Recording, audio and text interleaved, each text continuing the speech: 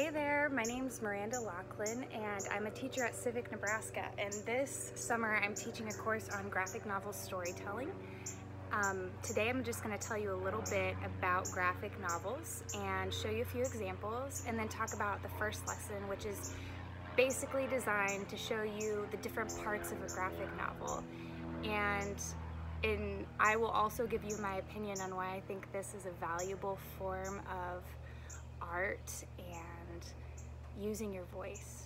So the first three comics that I wanted to show you today are a Wonder Woman comic book and I wanted to show you this one because the font on it is very action-like. You'll see this font in a lot of different superhero comic books like X-Men Uncanny or Spider-Man. It'll be something very bold and bright and vibrant in color.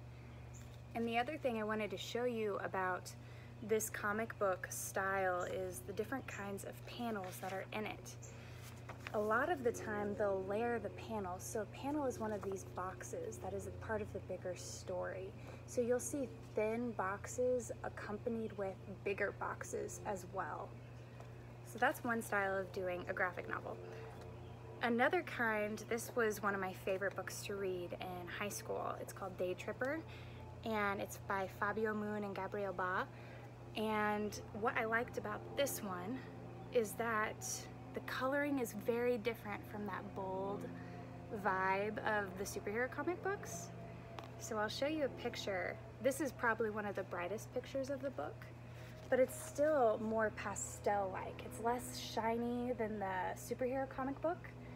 And if you'll look at this page too, you'll see the beauty of these pastel colors and the family scene going on on, I think, your right or left on this side. Um, but that's a different style of doing a comic book. This is actually part graphic novel between two brothers. And um, that's something I wanted to share about this book.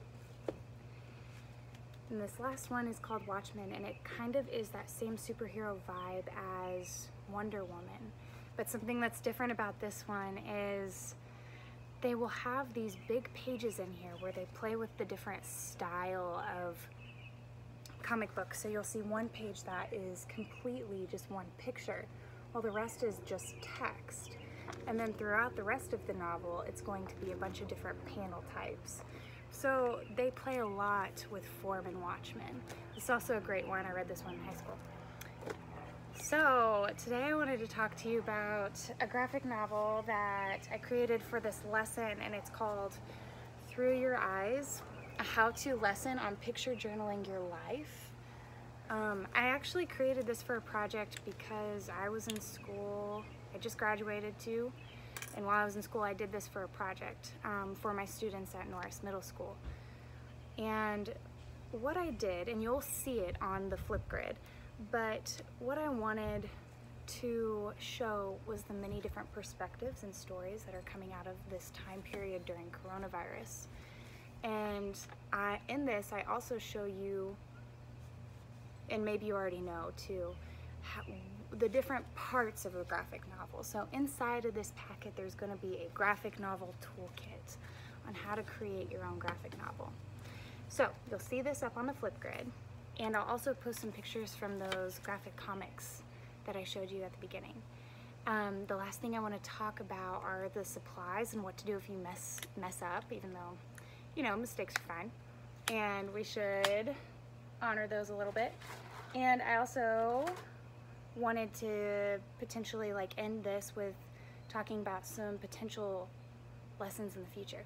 So some things that you're gonna want are some coloring utensils. So I have a bunch of colored pencils that are really good for shading and then markers and some scissors.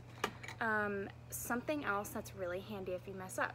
So during this, I messed, I messed up a lot. I, one of the things was I was drinking a Coca-Cola and some of the sweat dropped off the can and it landed all on the picture so I had to redo that entire frame. So what I did was I found a way to, and let me see if I can find a better example, actually, in this comic. Um, what I did was I found the panel that needed a little extra love because of my mishaps.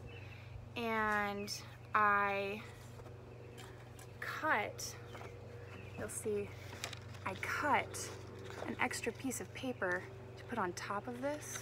I'll zoom in a little bit too. So I messed up in this block.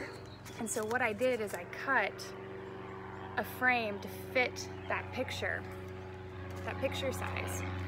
And I taped it on top and just drew over it. And when you take a picture of this, sorry, there's a plane.